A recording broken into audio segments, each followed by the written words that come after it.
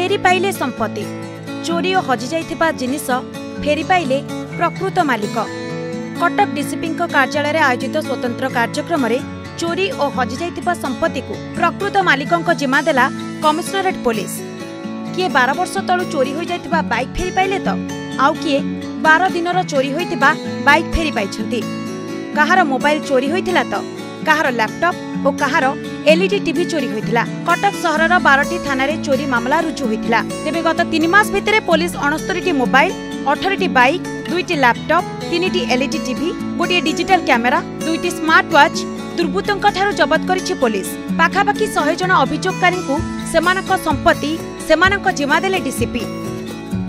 हमारा कटक यूपीडी विभिन्न थाना रे जो चोरी केस या मिसिंग केस रिपोर्ट ताको आम अफिसर्स बहुत सीरीयसली इन्वेस्टिगेट करी बहुत दूर दूर जा रिकवरी कर से रिकवरी आज जिते भी प्रपर्टी रिकवरी है स्टोलन रिटर्न करने गोटे प्रोग्राम आज रखा जाता ଯେତେ ବି ଓନର୍ସ ଅଛନ୍ତି ସେମାନଙ୍କୁ କଣ୍ଟାକ୍ଟ କରିକି ଏଠି ଡକାଯାଇଥିଲା ସେମାନଙ୍କ ସାଙ୍ଗରେ ଆ, ଇଏ ସବୁ ଡିସ୍କସ୍ କରିକି ସେମାନଙ୍କୁ ଆଜି ପ୍ରପର୍ଟି ସବୁ ରିଟର୍ନ କରାଯାଉଛି। ସେପଟେ ନିଜ ଚୋରି ହୋଇଯାଇଥିବା ସମ୍ପତ୍ତି ଫେରି ପାଇ ଖୁସି ବ୍ୟକ୍ତ କରିଛନ୍ତି ଲୋକେ। ଚୋରି ହୋଇଥିବା ଜିନିଷ ଫେରି ପାଇବେ ବୋଲି ଆଶା ନଥିଲା। ହେଲେ କମିଶନରେଟ୍ ପୋଲିସ ପକ୍ଷରୁ ଚୋରି ସାମଗ୍ରୀ ଜବତ ସହିତ ଚୋରଙ୍କୁ ଗିରଫ କରିବା ପାଇଁ ତିଆରି କରାଯାଇଥିଲା ସ୍ୱତନ୍ତ୍ର ଟିମ୍। ତେବେ ନିଜ ଚୋରି ହୋଇଯାଇଥିବା ସମ୍ପତ୍ତି ଫେରି ପାଇ କଣ କହୁଛନ୍ତି ଲୋକେ? ଶୁଣନ୍ତୁ।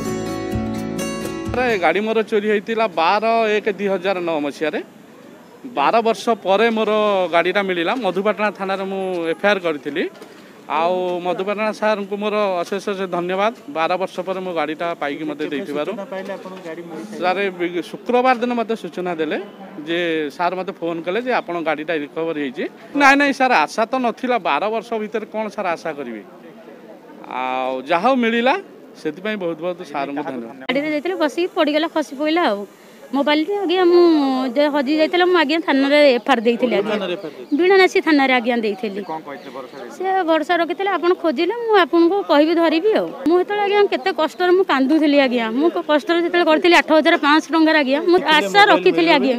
ଆଜ୍ଞା ମୁଁ ଆଶା କରିଥିଲି ବୋଲି ମୁଁ ଠାକୁରଙ୍କ ବିଶ୍ୱାସ ମୋର ବହୁତ। ମୁଁ ଆଶା କରିଥିଲି ଆଜ୍ଞା ମିଳିବ ବୋଲି।